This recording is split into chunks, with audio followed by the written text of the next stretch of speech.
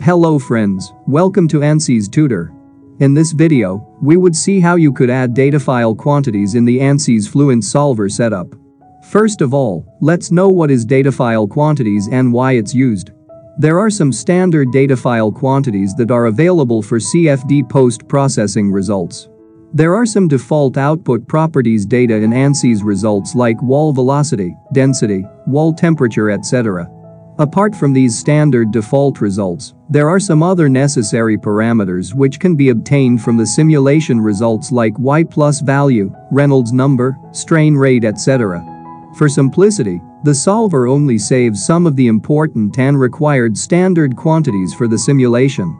These parameters are listed in the additional data file quantities. So after selecting the additional parameter, the data file for that result would be recorded and would be saved along with the default results. These can be used to obtain the CFD output results after the simulation gets completed. Some users reported that they are unable to use the data file quantities option in the new student version, so in this video, we will see the various ways to enable the data file quantities option.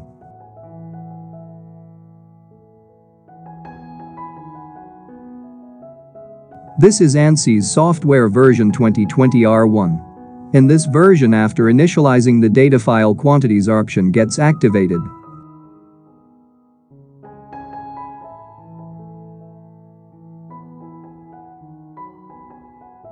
For this go to the file menu and select data file quantities.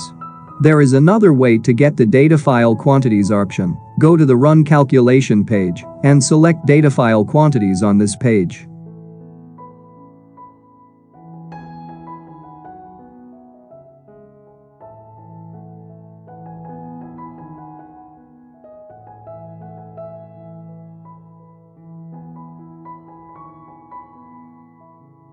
In the newer ANSYS 2022 version, this file menu option is not working even after initialization.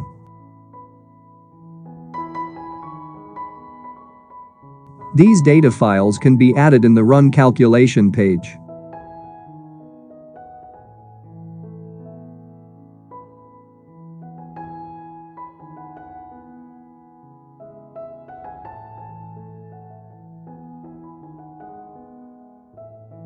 There is another method to enable the data file quantities option in the file menu. For this, go to the file menu and select preferences option.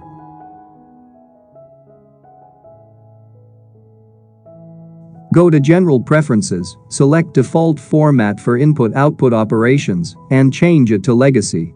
Click on OK. Now you can able to see the data file quantities option active in the file menu. Hope this information will be helpful to you. Please like share and comment. Thank you.